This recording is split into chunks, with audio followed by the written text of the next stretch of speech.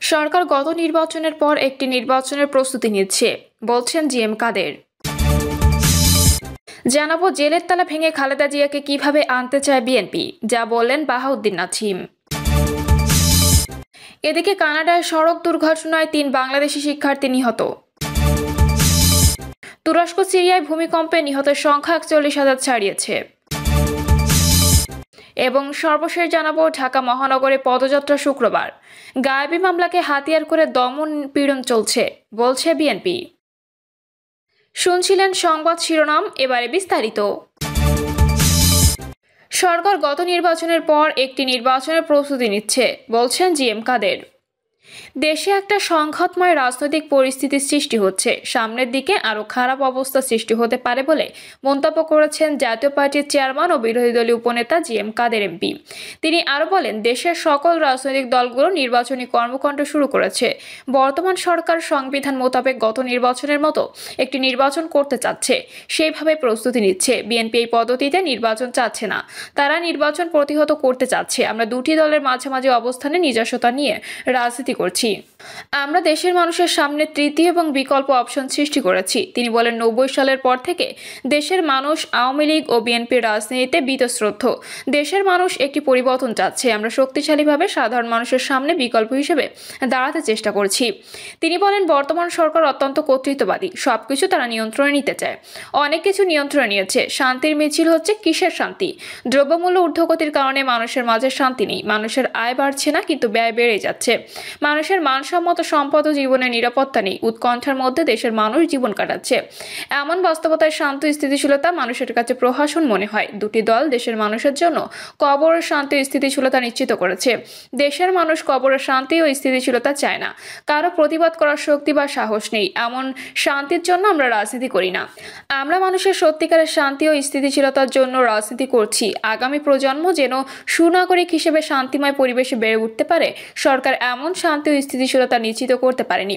শুধু ক্ষমতায় থাকা এটা কোনো রাজনীতি হতে পারে না। ক্ষমতায় আমরা যাব। জনগণের কল্যাণে কাজ করার জন্য জাতীয় পার্টি এর রাজনীতি জনগণের সামনে তুলে ধরতে চায়। জেলের তালা ভেঙে খালেদা জিয়াকে কীভাবে আনতে চায় বিএনপি? যা বললেন বাহাউদ্দিন নাছিম। আওয়ামী লীগের যুগ্ম সাধারণ সম্পাদক আফামা বাহাউদ্দিন নাছিম বলেছেন, অতীতে বিএনপি আন্দোলনের নামে আগুন সন্ত্রাস করে গাড়িতে বোমা মেরে মানুষ হত্যা করেছে।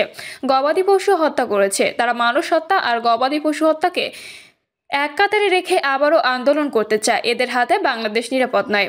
এজন্য জনগণকে সতর্ক থাকতে হবে। তিনি বলেন, গত ১৩ বছর ধরে তারা হুঙ্কার দিয়ে যাচ্ছে। কিন্তু বিএনপি যদি মনে করে আগুন সন্ত্রাস করে গবাদি পশু যেভাবে হত্যা করেছে মানুষের সেভাবে হত্যা করবে, তাহলে ভুল করবে। বিএনপির কড়া সমালোচনা করে আওয়ামী লীগের যুগ্ম সাধারণ সম্পাদক বাহদ্দিন নাছিম বলেন, বাংলাদেশের আইনে ঊর্ধ্বে কেউ নয়। দেশের প্রতিটা মানুষের জন্য আইনের শাসন রক্ষা করা নাগরিকের দায়িত্ব। কিন্তু বিএনপি আইনের প্রতি কোনো শ্রদ্ধা না রেখে নীতি বহির্ভূতভাবে একজন সাজাপ্রাপ্ত আসামিকে জেল থেকে তালা ভেঙে আনার কথা বলছে। দু হাজার আঠেরো সালে বিএনপি জামায়াত জোটের অনেক নেতা বলেছিল নির্বাচনের পরে নিজ হাতে জেলের তালা খুলে খালেদা জিয়াকে মুক্ত করা হবে। যারা এ ধরনের বক্তব্য দেয় তারা বিএনপির দলে আছে। একজন সাজাপ্রাপ্ত আসামি খালেদা জিয়া তাকে জেলের তালা ভেঙে কীভাবে আনতে চায় বিএনপি নেতারা? সে সাজাপ্রাপ্ত আসামি, সে জেলে বসে দেশ পরিচালনার স্বপ্ন দেখে। বিএনপি এদেশের জনগণের সমর্থন কতটুকু পাবে এটা অতীতেও বারবার প্রমাণিত হয়েছে। বিএনপি নেতাদের বক্তব্য হচ্ছে দেশের আইনের বিরোধিতা করে। খালেদা জিয়া দুর্নীতির কারণে তত্ত্বাবধায়ক সরকারের আমলে মামলা করা হয়েছে। এ মামলা তো আওয়ামী লীগ সরকার করেনি। বিএনপি নেতারা চায় না খালেদার বাসায় থাকুক, চিকিৎসা নিয়ে সুস্থ থাকুক। বিএনপি নেতারা খালেদা জিয়াকে জেলে দিতে চায়। তাদের মধ্যে ধরনের ধ্যান ধারণা আছে। খালেদা জিয়াকে জেলে রাখতে বিএনপির নেতাকর্মীদের ভিতরে নীল নকশা আছে কিনা, এটা তারাই জানে। দুই দলের রাজনীতির মাঠে মুখোমুখি অবস্থানে রয়েছে। বিএনপি বলছে, সরকারের পতনই তাদের মূল লক্ষ্য। এ ব্যাপারে কি মনে করেন? এমন প্রশ্নের জবাবে নাছিম বলেন, গণতন্ত্রের প্রতি যাদের শ্রদ্ধাবোধ, সম্মানবোধ থাকে, দায়িত্ববোধ থাকে, তারা এসব কথা বলতে পারে না। একথা বলার উদ্দেশ্য দেশের আইন শৃঙ্খলার অবনতি ঘটানো। বিশৃঙ্খলার জন্য অনেক ধরনের চাল বাহানা করছে বিএনপি। বিএনপির এ ধরনের বক্তব্য আগে শুনেছি। দু সালে নির্বাচনের সময় তারা বলেছে, নির্বাচনের পরে নিজ হাতে চাবি দিয়ে জেলের তালা খুলে খালেদা জিয়াকে বের করে আনবে। দেশে কি কি কোনো নিয়ম শৃঙ্খলা গণতন্ত্র বলতে কিছু নেই। বিএনপি জামায়াতের হাতে যদি ক্ষমতা যায়, তাহলে দেশে গণতন্ত্র বলতে কিছু থাকবে না জ্বালাও পোড়াও সন্ত্রাসী কর্মকাণ্ড বেড়ে যাবে। বিএনপি জনগণের সমর্থন পায় না বলেই তারা অযাচিত কথা বলে। একসময় তারা গাড়িতে আগুন দিয়ে গবাদি পশু মেরেছে। এখন যদি তারা আগুন সন্ত্রাস করতে চায়, তাহলে মানুষ ছাড় দেবে না। আগুন দিয়ে গবাদি পশু আর মানুষ মারা এক জিনিস নয়। বিএনপি কি করবে, আদৌ তারা জানে না। ভবিষ্যতে কি করবে, তাও জানে না। আগে বিএনপি একটি পথ ঠিক করে জনগণের কাছে যাক, তাদের আশা আকাঙ্ক্ষার কথা জানুক। কানাডায় সড়ক দুর্ঘটনায় তিন বাংলাদেশি শিক্ষার্থী নিহত। কানাডার অন্টারিওর ডুনবাসে এক সড়ক দুর্ঘটনায় তিন বাংলাদেশি নিহত হয়েছেন। এতে আহত হয়েছেন আরও একজন। তার অবস্থা সংকটাপন্ন। নিহতরা গাড়িতে করে যাচ্ছিলেন। নিহতদের সবাই বাংলাদেশের নাগরিক। তারা সবাই কানাডায় উচ্চশিক্ষার উদ্দেশ্যে গিয়েছিলেন। তারা থাকতেন অন্টারিওর রাজধানী টরেন্টোতে। পুলিশ আরও জানিয়েছে, দুর্ঘটনার সময় গাড়িতে চার আরোহী ছিলেন। এর মধ্যে তিনজন নিহত হলেও একজন এখনও বেঁচে আছেন। পুলিশের পক্ষ থেকে আরও জানিয়েছেন, দুর্ঘটনার পরপরই বিশ বছর বয়সী এক যুবক ও এক যুবতী ঘটনাস্থলে নিহত হন।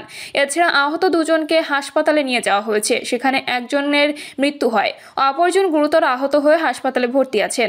হাসপাতালে যার মৃত্যু হয়েছে তার বয়স মাত্র সতেরো বছর। আর মৃত্যুর সঙ্গে এখন পাঞ্জা লড়ছেন গাড়ির একুশ বছর বয়সী চালক।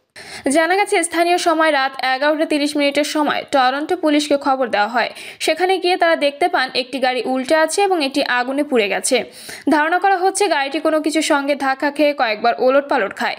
এরপর এতে আগুন ধরে যায়। টরন্টো ফায়ার সার্ভিস জানিয়েছে, ঘটনাস্থলে গিয়ে প্রথমে গাড়িতে লাগা আগুন নেভান তারা। এরপর ভেতরে আজকে পড়াদের উদ্ধার করা হয়। পুলিশ জানিয়েছে, নিহত ও আহতের পরিবারকে খবর দেওয়া হয়েছে। তুরস্ক সিরিয়ায় ভূমিকম্পে নিহতের সংখ্যা একচল্লিশ হাজার ছাড়িয়েছে। তুরস্কের দশটি প্রদেশে ভূমিকম্পের ছোবলে নিহতের সংখ্যা বেড়ে চলেছে।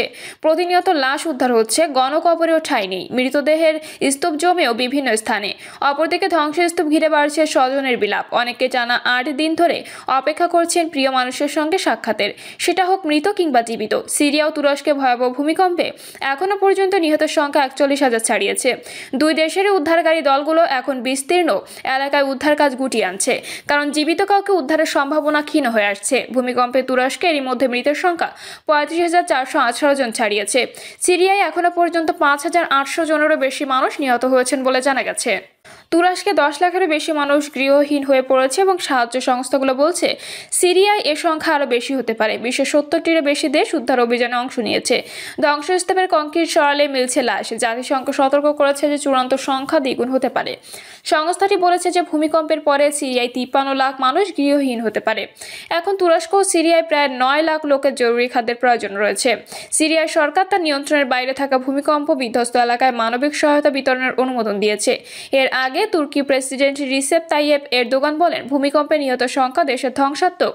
উনিশশো নিরানব্বই সালে ভূমিকম্পের সংখ্যাকে ছাড়িয়ে গেছে। এ বিষয়ে বিশ্ব স্বাস্থ্য সংস্থা বা ডব্লিউএইচওর কর্মকর্তারা ধারণা করেছেন, নিহত মানুষের সংখ্যা আরও বাড়বে। তুরস্কের দুর্যোগ ও জরুরি ব্যবস্থাপনা বিষয়ক কর্তৃপক্ষ এএফইডি জানিয়েছে, ছয় হাজারের বেশি ভবন ধ্বংস হয়ে গেছে। সবচেয়ে ক্ষতিগ্রস্ত হয়েছে গাজিয়ান্তেপ শহর। ভূমিকম্পের পরে সতেরোশো আফটার শক রেকর্ড করা হয়েছে। গত ছয় ফেব্রুয়ারি ভোর চারটা সতেরো মিনিটেই সাত দশমিক আট মাত্রার ভয়াবহ ভূমিকম্প আঘাত হানে। বেশিরভাগ মানুষ তখন গভীর ঘুমে আচ্ছন্ন। বহুতল ভবন ধসে পড়ে ঘুমন্ত মানুষের ওপর। মোমের মতো ধসে পড়ে একাধিক ভবন। ভয়াবহ এই ভূমিকম্পে তুরস্ক, সিরিয়ার বিস্তৃত এলাকা মাটির সঙ্গে মিশে গেছে। মিশর, লেবানন ও সাইপ্রাস থেকেও কম্পন অনুভূত হয়েছে। ডাব্লিউএইচওর শীর্ষ কর্মকর্তা অ্যাডেল হেইড মার্শাল বলেন, ভূমিকম্প যেসব অঞ্চলে সংঘটিত হয়েছে, তার মানচিত্র অনুসারে বলা যায় যে দুই কোটি তিরিশ লাখ মানুষ এতে ক্ষতিগ্রস্ত হবে। এদের মধ্যে পঞ্চাশ লাখ মানুষ অরক্ষিত অবস্থায় আছে। তিনি আরও বলেন, তুরস্ক এবং উত্তর পশ্চিম সিরিয়ার ভূমিকম্প কবলিত অঞ্চলে বেসামরিক অবকাঠামো, স্বাস্থ্যসেবার সঙ্গে সংশ্লিষ্ট অবকাঠামোগুলোর ব্যাপক ক্ষতি হয়েছে।